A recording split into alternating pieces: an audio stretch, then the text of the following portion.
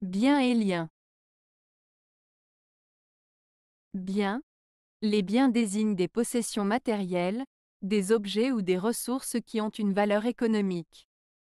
Ils peuvent être tangibles, comme une maison ou une voiture, ou intangibles, comme une marque ou une licence.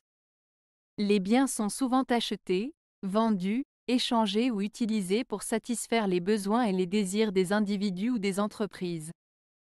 Exemple. Une maison est un bien tangible. Une marque commerciale est un bien intangible.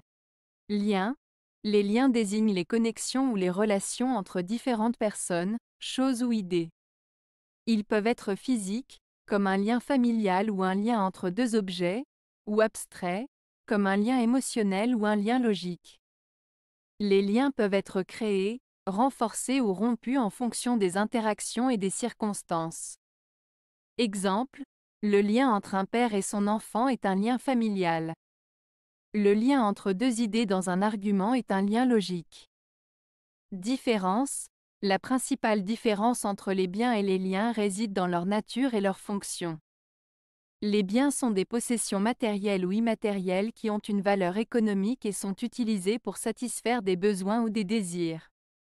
Les liens, quant à eux, désignent les connexions ou les relations entre différentes personnes, choses ou idées.